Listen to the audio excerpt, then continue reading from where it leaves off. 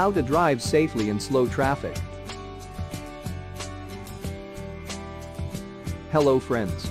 Welcome to Car Learner. Today we'll tell you how to drive safely in slow traffic. So let's get started. Be gentle with the clutch.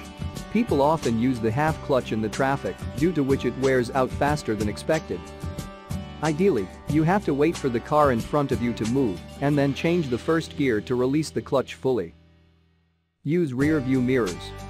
In the city, traffic keeps an eye on internal and external rear view mirrors.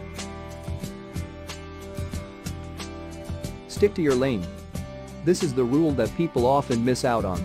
Try to stick to your lane and if you want to take turn use indicators. Don't panic brakes. When in the traffic, first use rear view mirrors and then use the brakes gently.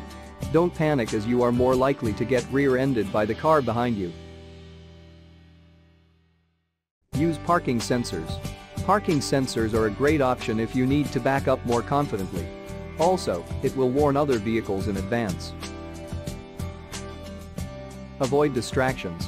While driving in traffic, people often start using their cell phones or loud music but it is harmful as it might be unable to hear the horn from other vehicles.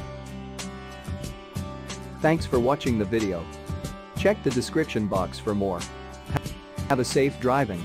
www.carlearner.com